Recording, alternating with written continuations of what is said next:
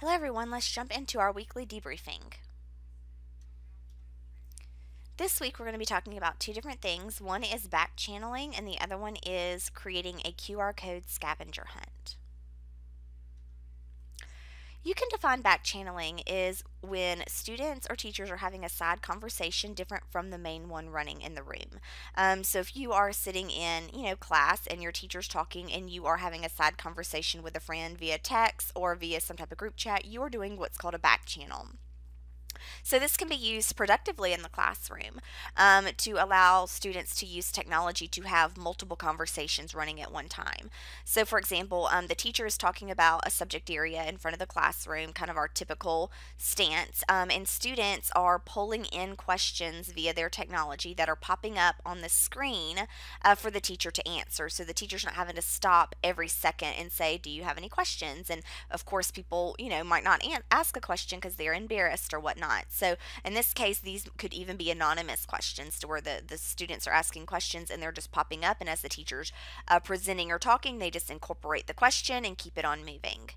Um, students can also um, read the, so another example of back channeling might be that the students are reading a text the night before an activity um, is coming uh, due and they back channel in questions as they come to them. So, you know, they're reading and they say, oh, I'd really like some more feedback about this, or I'm not really, I don't really understand this concept. And they pull those in. And in the morning, uh, the, the next morning before the activity, the teacher pulls up these questions that have been submitted, reviews them, um, and answers all those questions before they get ready to do um, the activity that day. And that's more of the flipped classroom model. So those are two examples um, of how back channeling can occur.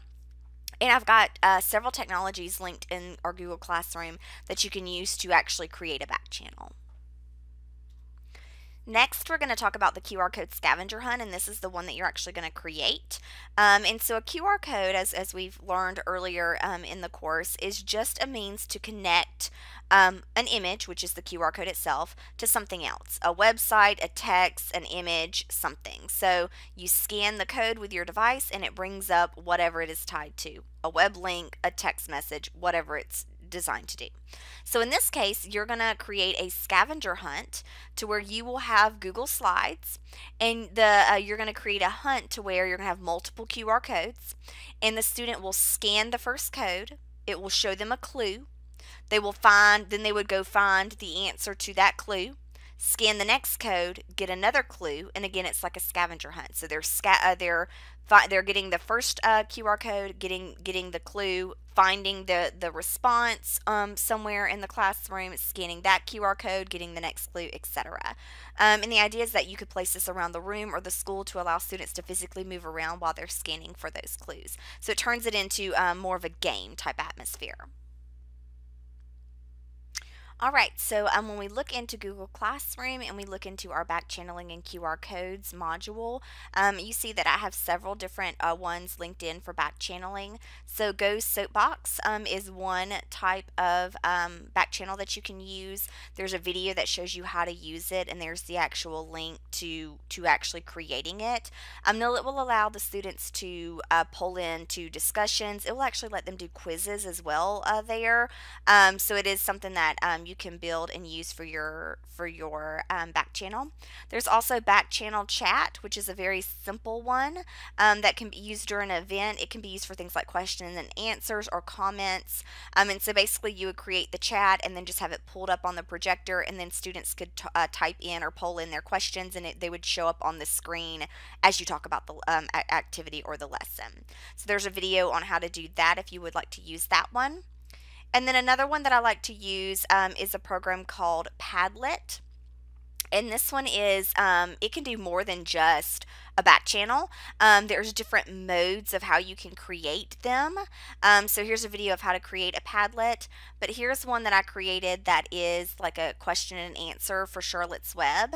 Um, and so here the students would type their their ideas um, and upload their images. Um, and that could be kind of a chat that we have going on more of like a Q&A And then you have one to where you can make it look more like a board, if you will.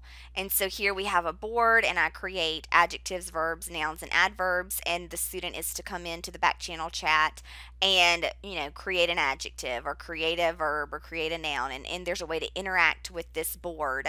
Um, and it's a way to track to see who's doing what. Um, but it's all being done via a back channel, not something that we're doing, you know, directly in the classroom. So those are uh, some different ways that you can use the the tool Padlet, which I think is probably the most, um, it's canvas based, so it lets you do more, um, it doesn't look so linear. You have lots of shared student spaces to work with. So make sure to check out those so you can see what a back channel can do for you. And then here we have our QR code scavenger hunt, which is your actual activity that you're doing. Um, so here you um, are going to create a QR code scavenger hunt via um, Google Slides. So you're welcome to use just Google Slides template. Um, there's also SlidesMania, which is the one that I like to use to get pretty um, PowerPoint backgrounds or, or Google Slide backgrounds. So you're welcome to do those. And then here is the video of how to actually create the QR code um, scavenger hunt. I like to use this QR code generator. It's my favorite um, because it's so easy all you basically do is come in and you pick a URL or free text or whatever, you type it in, save the QR code, and then now you have your QR code. So I like that one. There's lots of other ones on, on the internet that you can use. I just like that one myself. Um, and then I give you two examples of um, some QR code scavenger hunts. So here's one that I created um, to where basically this one is about um, fables. So that would be the standard that we're talking about. And so here, uh, what the student does is they get this initial one and they, they learn about what a fable is. And then they scan this and it takes them to their first fable. So it will describe something and then they want to go and find the the page these would be posted around the room that would um, that would give them the answer. So then they would find this one, then they would scan the code and it would take them to the next one. Scan this one, take them to the code, etc. So that would be um, how that one would work. And then here's another one. So very similar to where they would scan this image, it would give them a description of some type of fable and they had to go and find the image that it goes with and then scan it and it would tell them if they were right or wrong and so on and so forth. So this is what um, your QR code scavenger hunt will look like.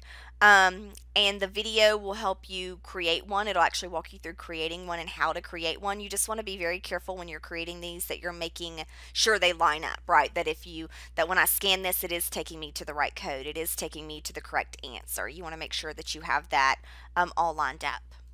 And then you have your grading sheet of how you're going to be graded. And with this, you are going to um, submit your QR code scavenger hunt. Um, you also want to have an introductory paragraph explaining what they're going to be doing with the codes and background on the lesson. Um, you also want to make sure that it is associated to a standard. Again, any any grade level, any subject area, you want to make sure that on that introduction page it has that standard listed there. Um, you want to make sure that you have at least five QR codes in your scavenger hunt that do work correctly. Make sure to test them. Um, and you want to make sure that the QR code is kind of a game. It feels game like. You know, you're guessing, you're moving around, that it's like a game.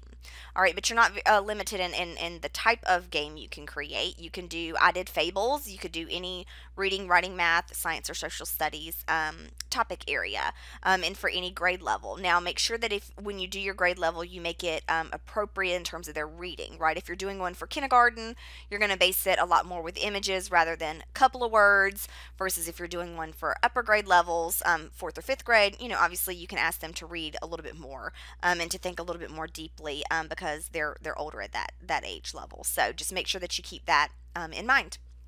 All right, so uh, what you're going to submit is you're going to actually put this um, in your um, you can just put it in a Google slide and you're going to make sure that the QR codes are in there and that they're pulling the correct information and um, your Google slide should have an explanation of how the QR code um, hunt will work, ex explaining you know to the students how to do the QR code um, hunt as well as the standard that it aligns to and your actual standards themselves or in your actual hunt itself. And you're going to submit that um, Google slide deck to Google Classroom here.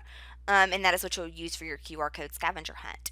So you have some templates that you can use if you want to, the QR code generator to create your QR codes, your two examples, your grading sheet, and then the video of exactly how to do it.